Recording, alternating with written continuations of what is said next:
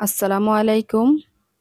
আজ আমি আপনাদের সাথে শেয়ার করব কীভাবে পারফেক্টভাবে দোকানের মতো করে সিঙ্গারা তৈরি করে নেবেন। পারফেক্টভাবে সিঙ্গারা তৈরি করতে এই ভিডিওটি শেষ পর্যন্ত দেখুন।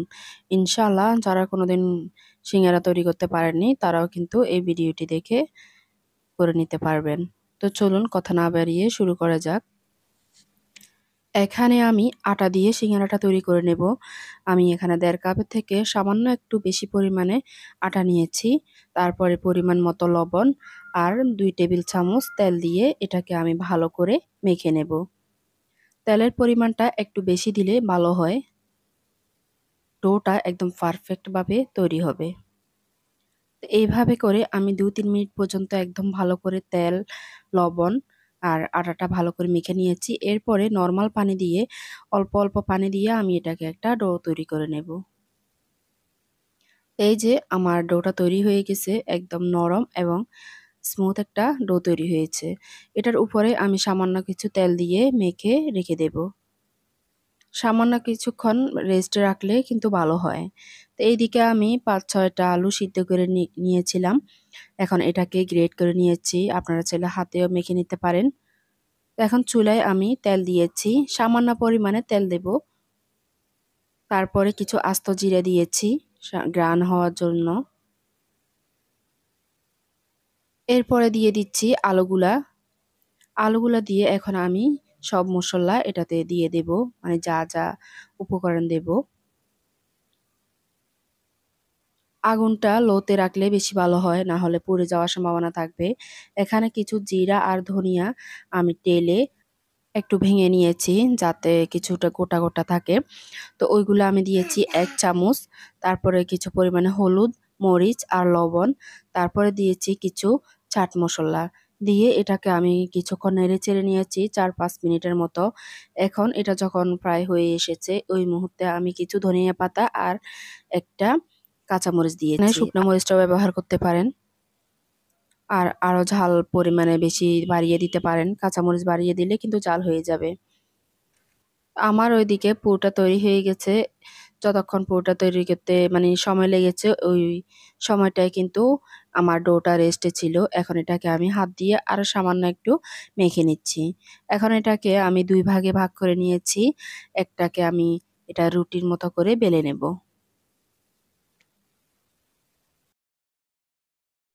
আপনারা চাইলে ডোটাকে তিন ভাগও করে নিতে পারেন। এটাকে আমি অনেকটা বড় করে বেলে নেব। এই যে আমার বেলা শেষ, এটা এখন আমি কেটে নেব।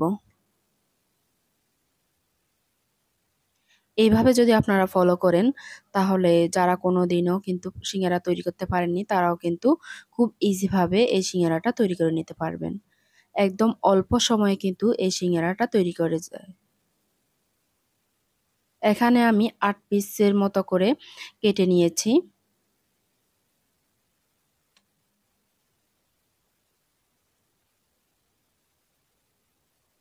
তো এখন আমি যে পুরোটা তৈরি করেছি, এটাই দিয়ে দিচ্ছি।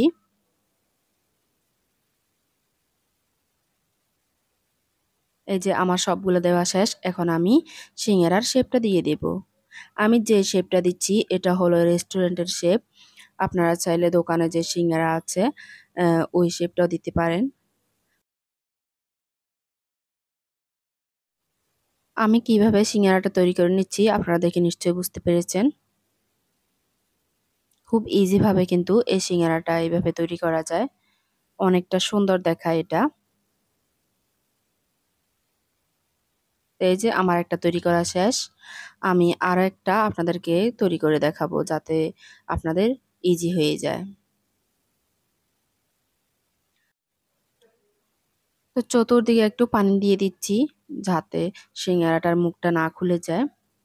এই যে দেখতে পাচ্ছেন আপনারা। আশা করি আবার আমাকে ভেঙে বলতে হবে না। দেখে আপনারা বুঝতে পারছেন।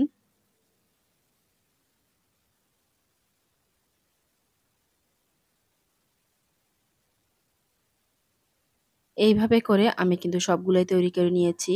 এখন চলে যাব চুলায়।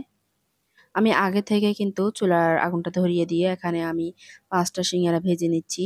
বাকিগুলা আমি ফ্রিজে রেখে দেব। আপনারা চাইলে এই অবস্থায় কিন্তু ফ্রোজেন করে রেখে দিতে পারেন। তো এখানে আমি খাওয়ার জন্য পাঁচটা ভেজে নিচ্ছি। আর বাকিগুলা ডিশে যে ডিশে আমি কিন্তু তৈরি করে রেখেছি, ওই ডিশটা এইভাবে ফ্রিজে রেখে দেব ডিপের মধ্যে।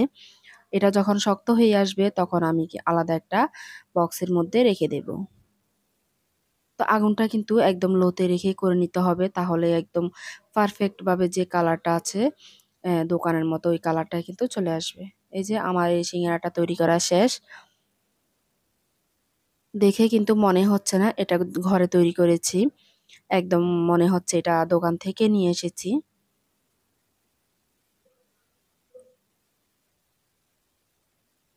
এটা কিছুটা কিন্তু ফুলেছে, আপনারা দেখে নিশ্চয়ই বুঝতে পারছেন। তো আমার এই সিঙ্গারাটা তৈরি করতে সময় লেগেছে পনেরো থেকে বিশ মিনিটের মতো। এখানে আমি ষোলোটা সিঙ্গারা তৈরি করেছি। একটা আমি আপনাদেরকে ভেঙে দেখাই, ভিতরের, ভিতরে কিন্তু দেখেন কি সুন্দর হয়েছে। আপনারা দেখে নিশ্চয়ই বুঝতে পেরেছেন। তো আজ আমার ভিডিওটি এই পর্যন্ত। একটু যদি আপনাদের ভালো লেগে থাকে, অবশ্যই একটা লাইক দেবেন।